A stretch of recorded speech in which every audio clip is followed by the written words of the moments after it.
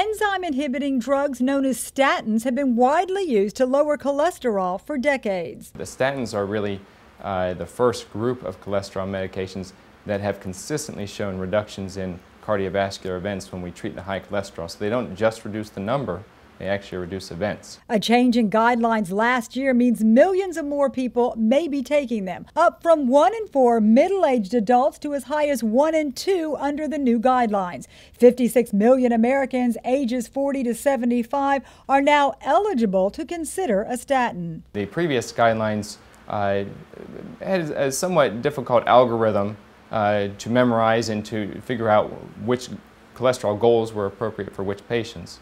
These guidelines try to simplify the process. Old guidelines looked at numbers and determined the amount of drug therapy needed to lower cholesterol to a normal level. These new rules are taking a calculated risk by prescribing statins based on a person's cardiovascular risk. They define four categories of patients that are, are eligible for cholesterol therapy and really two doses of cholesterol medicine, either a, a, high intensity or a moderate intensity of a statin medication. Ranging from high risk existing cardiovascular disease to low risk primary prevention, based in part on age. Patients may be taking these recommendations to heart. Because there's so much data supporting their benefit. Playing the numbers game, doctors hope to help more people better their odds against heart attack and stroke. For Lee Memorial Health System, I'm Amy Osher.